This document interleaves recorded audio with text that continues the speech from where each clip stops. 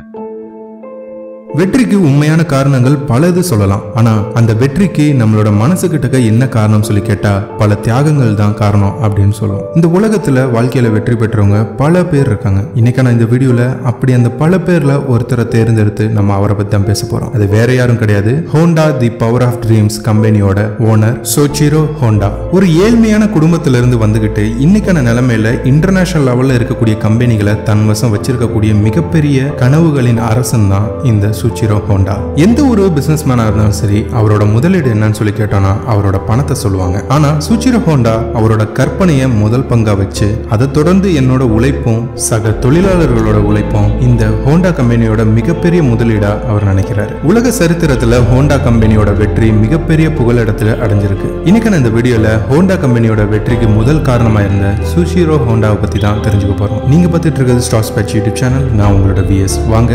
இன்னைக்கான வீடியோக்குள்ள போலாம்.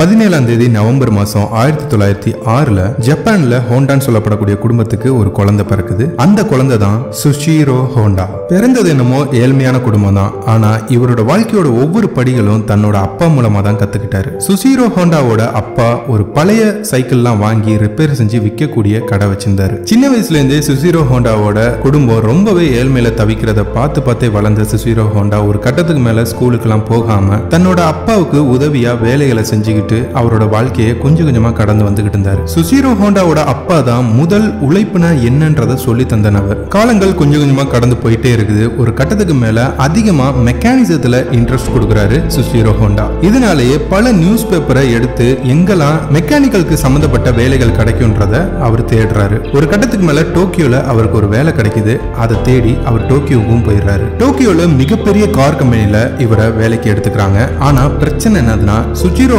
ஹோண்டாவுக்கு ரொம்ப கம்மியான வயசு தான் அப்ப ஆயிருந்துச்சு. இதனால அவரோட வயசை முன் வச்சு அவருக்கு வெறும் துடைக்கிற வேலை சின்ன சின்ன கிளீனிங் வேலை மட்டும் தான் கொடுத்திருந்தாங்க சுஜிரோ ஹோண்டாவும் கொஞ்ச நாளைக்கு இந்த வேலைகள் எல்லாத்தையும் சலிக்காம செஞ்சுக்கிட்டு தான் இருந்தாரு. ஆனா ஒரு கட்டத்துக்கு மேல அவரே யோசிக்க ஆரம்பிச்சாரு நம்மளால இந்த தொழிலை கத்துக்க முடியாத ஒரு நிலைமையில இருக்கோமோன்னு. இதனால அவர் என்ன பண்ணாருன்னா அந்த கம்பெனியோட ஓனர் கிட்ட போய் பேசி எனக்கு மெக்கானிக்கல் வேலை கத்துக்கணும்னு ஆசையா இருக்குது. எனக்கு அந்த வேலை கொடுங்க அப்படின்னு சொல்லி கேட்டிருக்காரு. இவர் கத்துக்கணும் அப்படின்னு நினைக்கக்கூடிய எண்ணத்தை பாராட்டி அந்த கம்பெனியோட ஓனர் வேறு ஒரு பிராஞ்சில் இவரை மாத்துறாரு. புது கம்பெனியில பந்தயத்துக்காக தான் வண்டிகளை உற்பத்தி செய்யறாங்க அதனால அங்கனுக்கு நிறையவே மெக்கானிக்கல் சம்பந்தப்பட்ட விஷயத்த கத்துக்க முடியுன்றனால சுஜிரோ ஹோண்டாவை அங்க மாத்திடுறாங்க. புது கம்பெனி போக போக சுசிரோ ஹோண்டாவுக்கு பிடிக்க ஆரம்பிக்குது. பல விஷயங்களை ஒவ்வொரு நாளும் ஒவ்வொரு நிமிஷமும் அவர் கத்துக்கிட்டு இருக்காரு. இங்க இருக்கக்கூடிய வேலைகளோட அளவுகளையும் அதோட தேவைகளையும் புரிஞ்சுக்கிறாரு. ஒரு சில மாசங்கள்லயே மெக்கானிக்கல் சம்பந்தப்பட்ட எல்லா வேலையுமே அவர் கத்துக்க ஆரம்பிச்சிட்டாரு. கொஞ்ச நாள்ல சிறந்த மெக்கானிக்கல் சொல்லி அந்த கம்பெனில ஒரு பேரும் இவர் கிடைச்சிருது. ஒரு கட்டத்துல அவர் வேலை பார்த்துக்கிட்டு இருந்த கம்பெனில இருந்து ஒரு கார் பந்தயத்துல கலந்துக்கிறாங்க. இந்த பந்தயத்துல ஓட போற வண்டிக்கு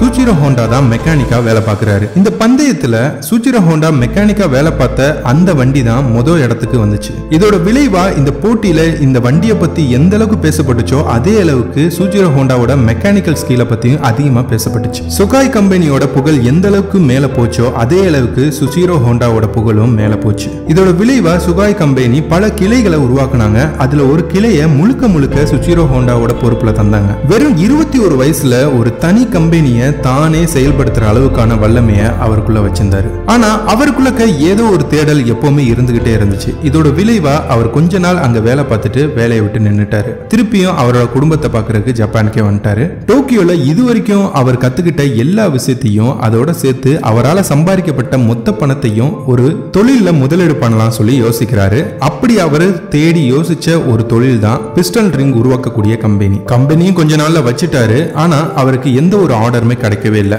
பல நிறுவனங்களோட அவர் பேச்சுவார்த்தை நேரா போய் நடத்தினாரு. எவ்வளவு நிறுவனங்கள்கிட்ட கேட்டுமே அவருக்கு எந்த ஒரு ஆர்டரும் கிடைக்கவே இல்லை. இதோட விளைவா அவர் தொடர்ந்து முயற்சிகளை மட்டுமே செஞ்சுக்கிட்டு இருந்தாரு. ஒரு கட்டத்துக்கு மேல டொயோட்டா கம்பெனி மூலமா அவருக்கு ஒரு கான்ட்ராக்ட் கிடைக்குது. அதை வச்சு அவரோட கம்பெனியோட முதல் ஆர்டரா அதை எடுத்து செய்யறாரு வாழ்க்கை கொஞ்சம் கொஞ்சமா வெற்றியை நோக்கி பயணிக்கிறத நல்லாவே உணர்ந்த சுச்சிரோ ஹோண்டா கொஞ்சம் கொஞ்சமா அவரோட உழைப்பை இன்னமும் அதிகமா அவரோட தொழில முதலீடு பண்றாரு. ஆனா காலத்தை பொறுத்த வரைக்கும் பாத்தீங்கன்னா எங்கெல்லாம் நம்ம சந்தோஷமா இருப்போம்னு நினைக்கிறோமோ அங்கெல்லாம் துன்பங்கள் கூடவே வரும். அது மாதிரி சுஜிரோ ஹோண்டாவுக்கு ஒரு சின்ன ஆக்சிடென்ட் நடந்துருது. இந்த ஆக்சிடென்டோட விளைவா அவர் ஹாஸ்பிட்டல்லையே ரொம்ப நாள் இருக்க வேண்டிய ஒரு சூழ்நிலை ஏற்பட்டுருது. இந்த சமயத்துல அவரோட கம்பெனி தன்னிச்சையா இயங்கிட்டு இருக்கு. தொழிலாளர்களை மட்டுமே வச்சு. பிரச்சனை எந்த மாதிரி இருந்துச்சுன்னா சுசிரோ ஹோண்டா ஹாஸ்பிட்டல்ல இருக்கும்போது அவரோட கம்பெனியால உருவாக்கப்பட்ட பிஸ்டன் சரியான மெஷர்மெண்ட்ல இல்ல இல்ல தரமா இல்ல அப்படின்ற ஒரு பிரச்சனைக்கு உள்ளாகுது. இதோட விளைவா அவரோட கம்பெனிக்கு கிடைச்ச மிகப்பெரிய கான்ட்ராக்டான டொயோட்டோ கம்பெனியோட ஒப்பந்தத்தை அவர் இழக்கிறாரு. ஆனா இவரால் ஒண்ணுமே பண்ண முடியல. ஏன்னா இவர் ஹாஸ்பிட்டல்ல இருக்கக்கூடிய ஒரு சூழ்நிலை ஆயிருச்சு. சுச்சிரோ ஹோண்டாவோட வாழ்க்கையில சம்பாரிச்ச மொத்த பணமும் அந்த கம்பெனியை நம்பி தான் இருந்துச்சு. ஆனா அந்த கம்பெனியை கையை விட்டு போகக்கூடிய ஒரு சூழ்நிலை ஏற்பட்டுச்சு.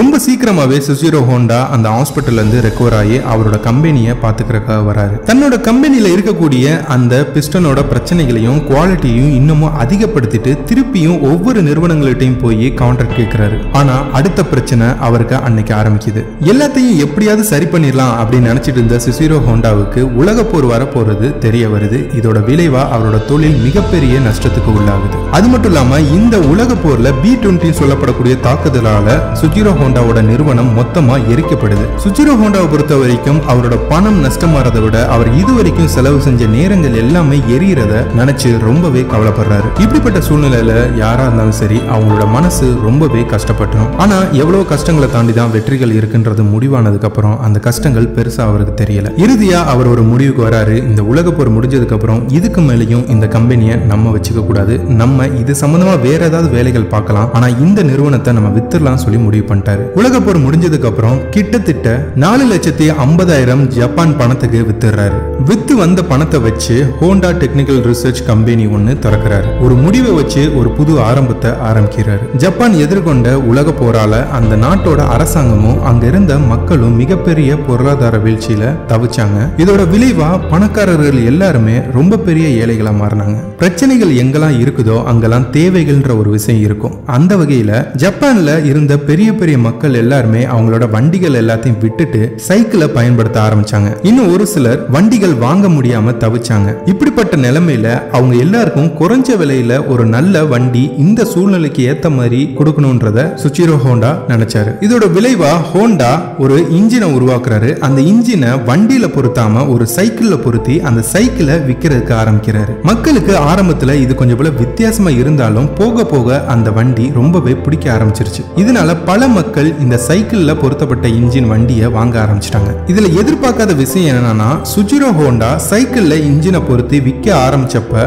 மக்களுக்கு இது அதிகமா தேவைப்படும்ன்றத அவர் நினைச்சு கூட பார்க்கல. போக போக மக்கள் இந்த வண்டியை வாங்க ஆரம்பிச்சிட்டாங்க. அதனால அவரோட பிசினஸ் முதல் வெற்றி படியை அடையுது. கொஞ்ச நாள்ல தன்னோட நிறுவனமான ஹோண்டா ஹோண்டாய் டெக்னிக்கல் ரிசர்ச் கம்பெனியோட பேரை மாத்தி ஹோண்டா மோட்டார்ஸ் கம்பெனி அப்படின்னு வச்சிடுறாரு. காலத்தோட போக்குல ஜப்பான் பொருளாதாரம் கொஞ்சம் கொஞ்சமா மேலோங்கி வரும்போது சுஜிரோ ஹோண்டா டூ ஸ்டோக் பைக்கை அறிமுகப்படுத்துறாரு. இந்த ஒரு வண்டி ஹோண்டா மோட்டார்ஸ் கம்பெனியோட வியாபாரத்தையே வேற ஒரு நிலைமைக்கு கொண்டு போயிருச்சுன்றதா உண்மை. மிகப்பெரிய அளவான உலகளாவிய ஒரு வியாபார யுக்தியை இந்த ஹோண்டா கம்பெனி கையாளுது. மக்களோட தேவைகளுக்கு ஏத்த மாதிரியும் பொருளாதார நிலைமைக்கு ஏத்த மாதிரியும் வண்டிகளை உற்பத்தி செஞ்சு அதை விற்க ஆரம்பிக்கிறாங்க. மிகப்பெரிய அளவு அளவுல அவங்களோட கம்பெனிக்கான வெற்றி உச்சத்தை தொடுது. ஆயிரத்தி தொள்ளாயிரத்தி அறுபத்தி ஒண்ணுலலாம் ஒரு மாசத்துக்கு கிட்டத்தட்ட ஒரு லட்சத்துக்கும் மேற்பட்ட வண்டிகளை உற்பத்தி செஞ்சு அதை உலகம் முழுக்க ஏற்றுமதி செய்யப்படுது. அதுவே ஆயிரத்தி தொள்ளாயிரத்தி அறுபத்தி எட்டுல ஒரு லட்சமா இருந்த மாதத்தோட வண்டியோட உற்பத்தி பத்து லட்சமா மாறுது. மக்களோட தேவைகள் கொஞ்சம் கொஞ்சமா அதிகரிக்குது. காலத்தோட போக்குல ஹோண்டா நிறுவனத்தால உருவாக்கப்பட்ட கம்பெனி மக்களோட விரும்பத்தக்க பைக்கா மாறிடுது. ஹோண்டா நிறுவனத்தோட அடுத்த கட்ட வெற்றியா ஹோண்டா கார்ஸையும் உற்பத்தி செய்ய ஆரம்பிக்கிறாங்க. ஹோண்டா காரையும் மக்கள் அதிகமாக விரும்ப ஆரம்பிச்சிட்டாங்க. அதையும் வாங்க ஆரம்பிச்சிட்டாங்க. வியாபார அளவில் ஃபோர் வீலருக்கான பிஸ்னஸும் அவங்களுக்கு நல்லாவே லாபத்தை தருது. வெற்றியோட உச்சத்தில் போயிட்டு இருந்த ஹோண்டா நிறுவனம் ஒரு நாள் மிகப்பெரிய சோகத்தில் ஆளுது. அஞ்சாம் தேதி ஆகஸ்ட் மாதம் ஆயிரத்தி தொள்ளாயிரத்தி தொண்ணூற்றி ஒன்றில் ஹோண்டா நிறுவனத்தை உருவாக்குன சுச்சிரோ ஹோண்டா இந்த உலகத்தை விட்டு பிரிகிறார். சுச்சிரோ ஹோண்டாவோட இறப்பு ஒரு சாதாரணமான சம்பவமாக இருக்கலாம். ஆனால் இவரோட வாழ்க்கை ஒரு மிகப்பெரிய வரலாறாக மாற்றிட்டு தான் அவர் இந்த உலகத்தை விட்டு பிரிஞ்சிருக்காரு. இவரோட வாழ்க்கையில் நம்ம புரிஞ்சுக்கிட்ட ஒரே ஒரு விஷயம் என்னதுன்னா ஒவ்வொரு பிரச்சனைக்கும் ஒரு புது ஆரம்பம் இருக்கும். அந்த ஆரம்பம் கண்டிப்பா உங்களோட வெற்றி பாதையா தான் இருக்கும் அப்படின்றத நம்ம முதல்ல நம்பணும். வாழ்க்கையோட வெற்றிக்கு முதல் காரணமா இருக்கிறது நீங்க செய்யக்கூடிய ஒவ்வொரு தியாகம் தான் கவலைகள் வாழ்க்கையில இருக்கலாம். ஆனா அந்த கவலைக்கான பிரச்சனையை நம்ம புதுசா தொடங்கும் போது கண்டிப்பா அது நமக்கு வெற்றியை தரும்ன்றதுக்கு இவரோட வாழ்க்கையே ஒரு நல்ல ஒரு ஆதாரம். கைஸ் இந்த வீடியோ உங்களுக்கு பிடிச்சிருந்துச்சுன்னா லைக் பண்ணுங்கள் ஷேர் பண்ணுங்கள் அண்ட் இந்த மாதிரி நிறைய வீடியோஸ் நீங்கள் எதிர்பார்க்குறீங்கன்னா நம்மளோட ஸ்டார்ஸ் பச்சு யூடியூப் சேனலுக்கு சப்ஸ்கிரைப் பண்ணுங்க. அது கூட வரக்கூடிய பெல் சிம்மில் கிளிக் பண்ணி ஆல்ல செட் பண்ணி வச்சுக்கோங்க. அடுத்த ஒரு இன்ட்ரெஸ்டிங்காக வீடியோ சந்திக்கிறேன். அண்ட் அதன் பை ஃப்ரம் பிஎஸ்